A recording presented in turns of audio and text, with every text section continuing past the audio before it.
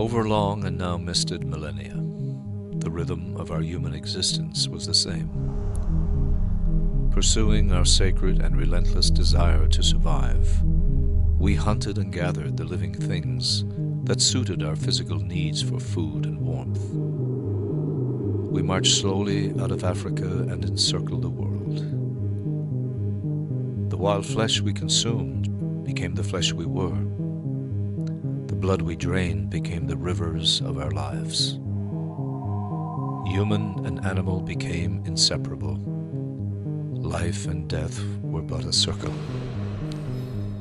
Against nearly impossible odds, we developed a pathway to existence that was to become the hallmark of our species and the most enduring portal to our natural selves. We became hunters.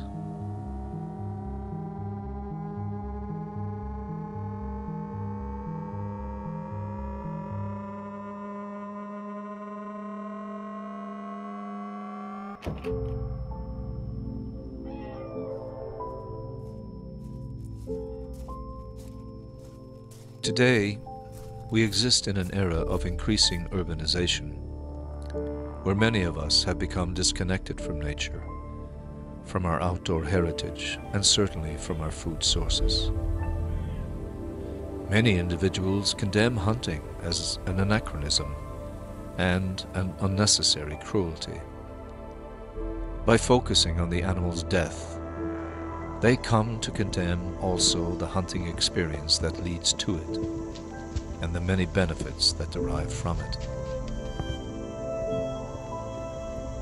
Hunters must show society that this time-honored tradition remains relevant in the modern world. So long as we require food, animal death will be a reality of human existence, regardless of our dietary choices. Food procurement and health remain primary motivations for hunters, just as they do for the harvesters of wild berries and mushrooms or medicinal plants. And food procurement is something the general public understands and appreciates, and which remains well supported even by individuals who may never hunt themselves. You know, I've never met a human being who did not wish to live a healthy life.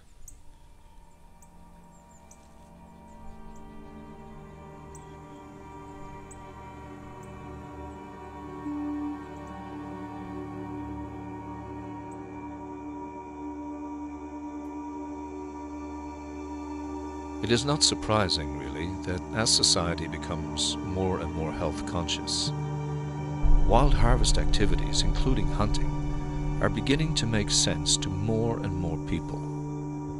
Humans, like all animals, require land and sustenance, and there is no free ride for any living thing.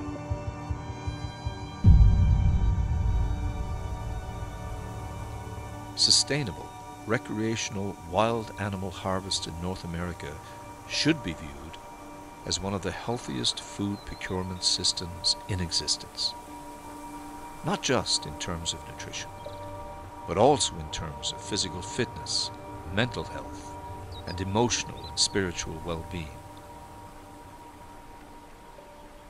This animal lived free and died wild never having experienced unnatural confinement, restraint, isolation, or abuse. And if there can be such a thing, surely it lived and it died well.